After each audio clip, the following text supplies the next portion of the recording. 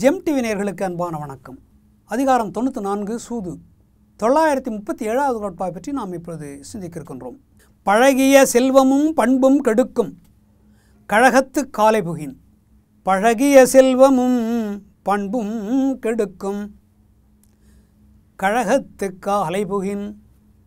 பழகிய செல்வமும் பண்பும் கெடுக்கும். கழகத்து காலை புகின்.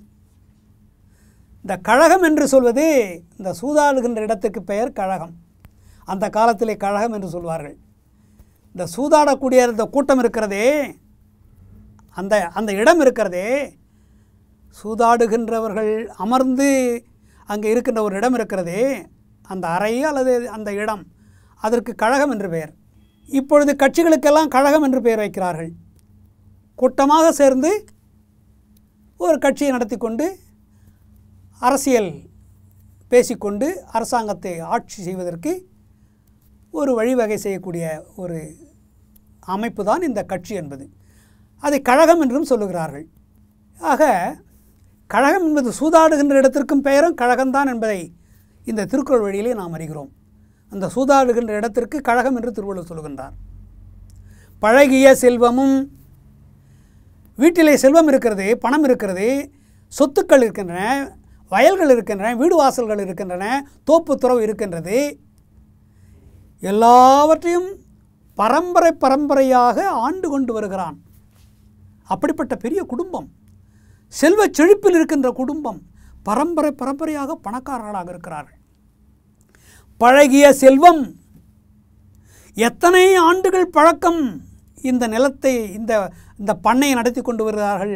இந்த நிலத்தை வைத்துக்கொண்டு இந்த அரண்மனையிலே வாழ்ந்து கொண்டிருக்கிறார்கள். எத்தனை வகையான வீடுகள் விதவிதமான வீடுகள் இருக்கின்றன. எவ்வளோ வயல்கள் கரும்பு வயல் வாழை தோட்டம் மாந்தோப்பு தென்னந்தோப்பு திராட்சை தோட்டம் என்னென்ன வகையிலே செல்வம் கண்டா வந்து குவிந்து கொண்டிருக்கிறது. எப்படிப்பட்ட செல்வத்துக்கு சொந்தக்காரர்கள்? ஆஹா எத்தனையோ செல்வங்களை சேர்த்து வைத்திருக்கிறார்கள். வகை வகையாக செல்வங்கள். வீடு என்ன வாசல் என்ன தோட் தோப்பம் துறவு தோட்டு தோட்டம் துறவு என்ன மாட மாளிகை என்ன எல்லாம் வைத்திருக்கிறார்கள்.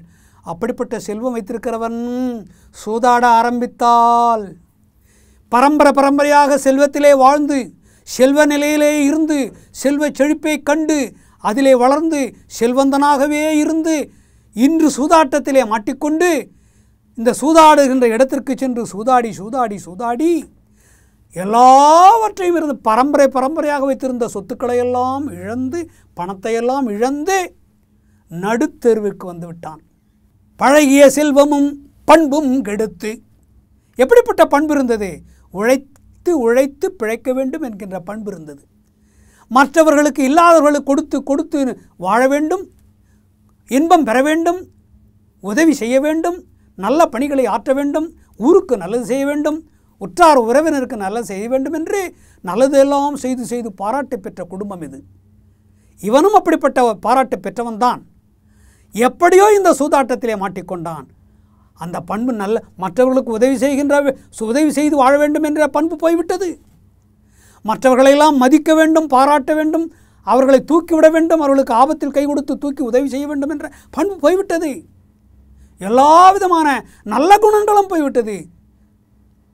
பழகிய செல்வமும் பண்பும் போய்விட்டன. இவனிடத்தில் நல்ல குணங்கள் எல்லாம் போய்விட்டன. இவனிடத்திலிருந்து செல்வங்கள் எல்லாம் ஒழிந்தன. காரணம் இந்த சூதாட்டம். இந்த சூதாட்டம் எவ்வளோ பெரிய பணக்காரனாக இருந்தாலும் பரம்பரை பரம்பரையாக செல்வந்தனாக இருந்தாலும் கூட அவனை ஏழையாக்கிவிடும். அவன் நல்ல குணங்களை உடையவனாக இருந்தாலும் கூட அவன் தீய குணம் உடையவனாக அவனை மாற்றிவிடும். நல்ல குணமுடையவன் எந்த பெண்ணையும் ஏறெடுத்து பார்க்க மாட்டான். தன்னை மனைவி மட்டும்தான் அவன் ஏறெடுத்து பார்ப்பான். அப்படிப்பட்டவன் இன்று பல பெண்களோடு தொடர்பு வைத்துக் கொள்ள வேண்டும் என்று இந்த சூதாட்டத்தில் வந்த காரணத்தினாலே கெட்ட பழக்கங்கள் எல்லாம் வந்துவிட்டன. குடிக்கிறான். பல பெண்களிடத்திலே போகின்றான்.